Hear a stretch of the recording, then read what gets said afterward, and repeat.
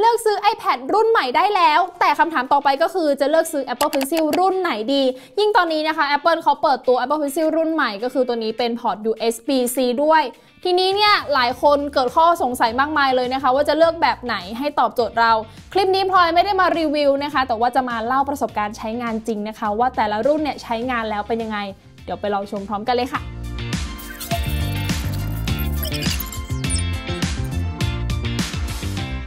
หลายๆ คนอาจจะสงสัยนะคะว่าตอนนี้เนี่ยเราจะเลือกใช้ Apple Pencil รุ่นไหนดี เพราะว่า Apple เขาก็เพิ่งเปิดตัวมานะคะ ก็เป็น Apple Pencil Port USB-C ตัวนี้นะคะ ซึ่งในตอนนี้เนี่ยเดี๋ยวพลอยอัปเดตกันก่อนนะคะว่ามี Apple Pencil ทั้งหมด 3 รุ่นด้วยกัน รุ่นแรกเป็น Apple Pencil Gen 1 นะคะ ตัวนี้แล้วก็ Apple Pencil Gen 2 และล่าสุดก็คือ Apple Pencil Port USB-C ตัวนี้ค่ะวันนี้พลอยก็จะมาเล่าประสบการณ์ใช้งานของทั้ง 3 รุ่น กับ iPad ทั้ง 2 รุ่นในตอนนี้นะคะ ก็จะเป็น iPad รุ่นเริ่มต้นอย่าง iPad Gen 10 และ iPad Pro Chip M2 ตัวนี้เลยนะคะ ตัวท็อปกับการใช้งานของ Apple Pencil เดี๋ยวเราไปดูกันที่ iPad Gen 10 กันก่อนเลยนะคะว่าพลอยได้ลองใช้งานกับ Apple Pencil แล้วจะเป็นยังไงบ้างค่ะ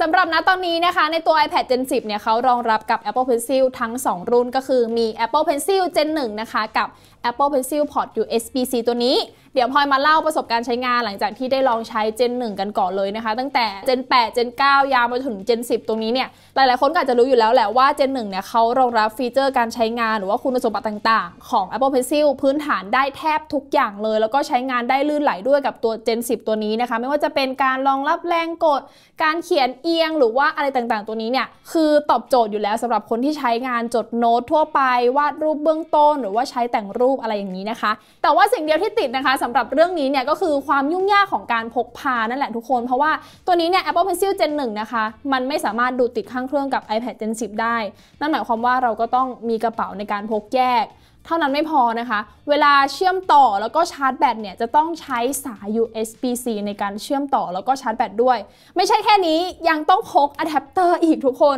อะแดปเตอร์ตัวนี้เนี่ยก็ต้องเสียบตัวพอร์ต USB-C แล้วก็เชื่อมกับพอร์ต Lightning ตัวนี้นะคะ ซึ่งพลอยมองว่า มันเป็นความยุ่งยากประมาณหนึ่งสำหรับการใช้งานของ iPad ที่ก่อนหน้านี้เราอาจจะเคยชินกับการที่เราใช้ Gen 7 8 9 มาก่อนนะคะ เวลาที่ชาร์จแบตหรือว่าเชื่อมต่อเนี่ยก็คือเสียบพอร์ต Lightning กับตัวเครื่อง iPad ได้เลย แต่อันนี้เนี่ยพอเขาเปลี่ยนเป็นพอร์ต USB-C แต่รองรับแค่ Gen 1 ก็ต้องใช้สายชาร์จในการเชื่อมต่อนั่นเอง อันนี้เนี่ยพอมาว่าเป็นแค่จุดเดียวนะคะสำหรับการใช้งาน Gen 1 กับตัว iPad Gen 10 ค่ะ อะมาต่อกันที่ Apple Pencil Port USB-C นะคะ กับประสบการณ์การใช้งานกับตัว iPad Gen 10 ตัวนี้หลังจากที่พลอยได้ลองใช้งานมานะคะ ตัวนี้เนี่ยการใช้งานฟีเจอร์ต่างๆ เบื้องต้นของ Apple Pencil เขาสามารถทำงานได้ดี แล้วก็ลื่นไหลมาก ไม่มีสะดุดเลยเวลาที่เขียนหรือว่าวาดรูปเบื้องต้น ทีนี้เนี่ย หลายคนอาจจะมองว่า Apple เขาเปิดตัวมาเพื่อรองรับกับ iPad Gen 10 โดยเฉพาะหรือเปล่า จริงๆ แล้วอาจจะมีนัยสำคัญบางอย่างนะคะ เพราะว่าตัว iPad Gen 10 เขาก็เปลี่ยนเป็นพอร์ต USB-C แล้ว แล้วตัว Apple Pencil ก็มี port USB-C มาให้ด้วย ซึ่งเวลาใช้งานชาร์จ หรือว่าเชื่อมต่อนะคะ ก็ใช้แค่ตัวสาย USB-C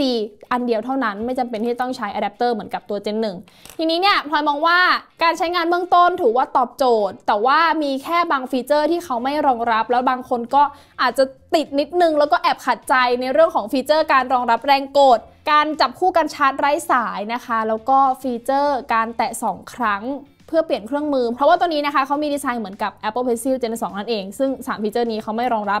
พลอยมองว่าใช้งานเบื้องต้นอะโอเคแล้วแหละ แต่ว่าถ้าใครติดว่าอยากจะใช้งานเรื่อง feature รองรับแรงกด อันนี้พลอยว่าอาจจะต้องพิจารณานิดนึง เพราะว่าเวลาที่พลอยใช้วาดรูปหรือว่าเวลาเขียนบางอย่าง มันไม่สามารถกดแรงได้ ถึงแม้ว่าเราจะไปปรับหัวบัชให้มี opacity ลดลง ปรับสีบรัชให้มีสีอ่อนลง แต่มันก็ยังไม่สามารถทดแทนได้ อันนี้ก็ถือว่าเป็นอีกหนึ่งข้อสำหรับ การพิจารณาว่าเราจะเลือกใช้ดีหรือเปล่าค่ะ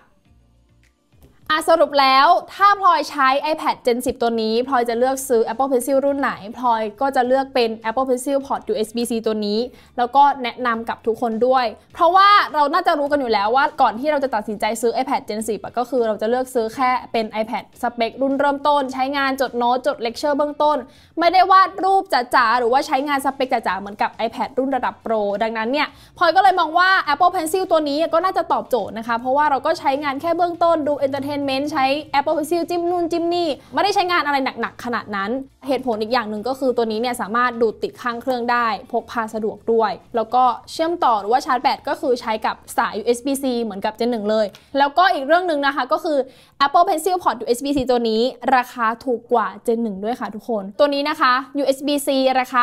3,190 บาท แต่ว่า Gen 1ตัวนี้เนี่ยราคา 3,900 บาท ราคาเนี่ยต่างกันมาประมาณ 800 แต่ว่าสิ่งที่เราจะได้มาก็น่าจะเป็นเรื่องของการพกพา แล้วก็ feature การใช้งานเบื้องต้นถ้าใครไม่ได้ซีเรียสเรื่อง feature การรองรับแรงกดหรือว่าอะไรต่างๆ ตัวนี้เนี่ยพลอยก็แนะนำเป็น USB-C ตอบโจทย์กว่า แต่คนที่ใช้ iPad Gen 10 ควบคู่กับ Apple Pencil Gen 1 อยู่แล้ว แล้วคิดว่าจะอัปเกรดไปเป็นพอร์ต USB-C ดีไหม หรือว่าจะเลือกซื้อเป็นตัวใหม่ดีไหมพลอยแนะนำว่าให้ใช้ Gen 1 ต่อเถอะค่ะ อาจจะยอมแลกเรื่องของการพกพานิดหน่อย แต่ว่าเราก็จะได้เรื่องของฟังก์ชันการใช้งานที่มากกว่านั่นเอง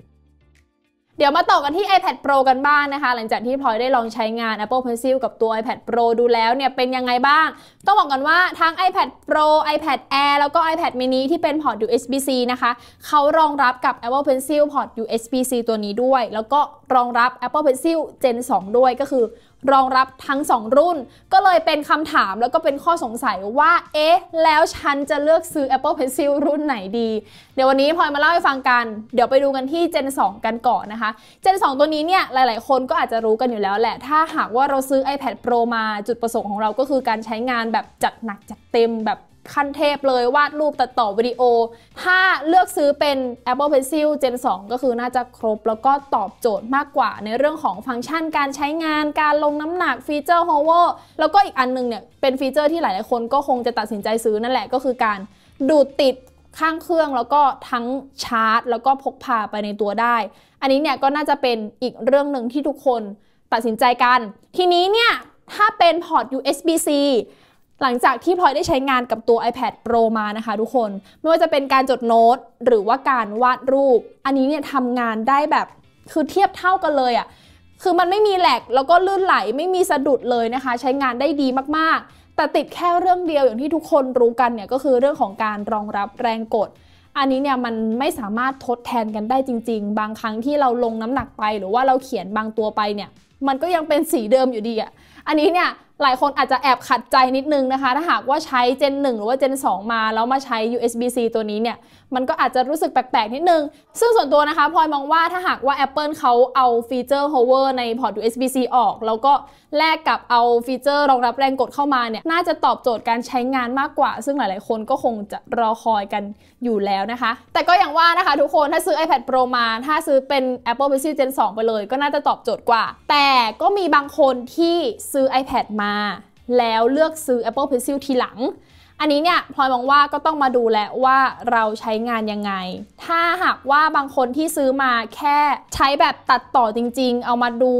เรื่องของภาพไม่ได้ใช้ Apple Pencil ในการจดหรือว่าการลงน้ำหนักอะไรเงี้ยพลอยมองว่าถ้าเป็นพอร์ต USB-C ตัวเนี้ย ก็น่าจะเพียงพอแล้ว แต่ถ้าหากว่าเป็นคนที่วาดรูปใช้ฟีเจอร์หนักๆ หรือว่าจะจ๋าเลยก็คงเป็น Apple Pencil Gen 2 นั่นแหละก็น่าจะตอบโจทย์ที่สุดนะคะสำหรับความคิดเห็นของพลอยค่ะจากทั้งหมดที่พลอยได้พูดมานะคะ ก็เป็นความคิดเห็นส่วนตัว แล้วก็ประสบการณ์ใช้งานส่วนตัวนะคะสำหรับการใช้ Apple Pencil ทั้ง 3 รุ่น กับ iPad Gen 10 แล้วก็ iPad Pro นั่นเอง ซึ่งพลอยมองว่า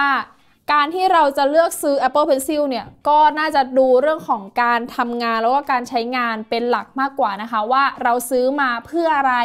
ถ้าเป็นวัยนักเรียนนักศึกษาใช้งานแค่เริ่มต้น หรือว่าเบื้องต้นกับ iPad Gen 10 หรือว่า iPad Air iPad Pro ตัวนี้เนี่ย Apple Pencil USB-C ตัวนี้ก็น่าจะตอบโจทย์แล้วนะคะ หรือถ้าเป็นวัยทำงานหรือว่านักธุรกิจที่อาจจะซื้อ iPad มาเป็น iPad mini หรือว่า iPad Air แล้วก็ใช้งานแค่เซ็นเอกสารเบาๆ จดโน้ตเบาๆ USB-C ตัวนี้ก็ตอบโจทย์เหมือนกันแต่ถ้าใครที่มองว่าฉันอยากจะใช้ฟังก์ชันของ Apple Pencil แบบจัดหนักจัดเต็มมาก ๆ ซื้อ iPad Air iPad Pro มาก็เป็น Apple Pencil Gen 2 ตัวนี้ก็คือตอบโจทย์และครบกว่า ดังนั้นเนี่ยสรุปเลยนะคะก็คือให้ทุกคนมองเรื่องของการใช้งานเป็นหลักว่าเราจะซื้อมาใช้งานกับอะไร